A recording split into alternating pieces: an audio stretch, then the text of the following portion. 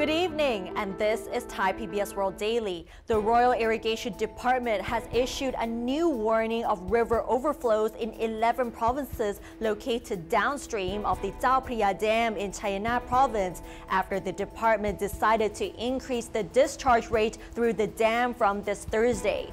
Meanwhile, the Meteorological Department forecasts heavy rain for most parts of Thailand, including Bangkok and its suburbs until Sunday as a result of a moderate monsoon trough moving over northern, central, eastern, and northeastern Thailand towards a low pressure cell in Cambodia.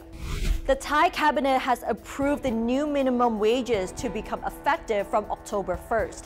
The new minimum wage is divided into nine rates, with the maximum rate set at 354 baht per day to a minimum set at 328 baht in accordance with the cost of living in each respective province. The cabinet also decided to extend the excise tax cut of 5 baht per liter of diesel fuel for two more months until November to ease the burden on consumers currently being affected by the high cost of living.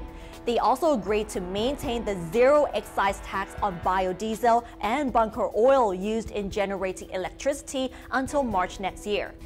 One of Thailand's longest running embezzlement scandals, which led to the collapse of the Bangkok Bank of Commerce in 1995, concluded yesterday, with the Thai Supreme Court upholding the conviction and 335 year imprisonment of Indian born Rakesh Saxena, a former financial advisor to the bank. He will, however, only serve 20 years behind bars as the maximum term of imprisonment under the Thai Criminal Penal Code is 20 years.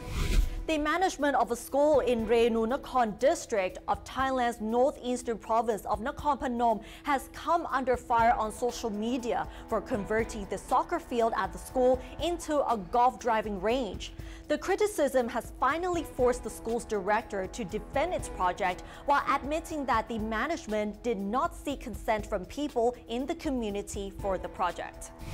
And that's all the top stories for today. You can follow us on social media and our website, thaipbsworld.com for all the latest updates about Thailand.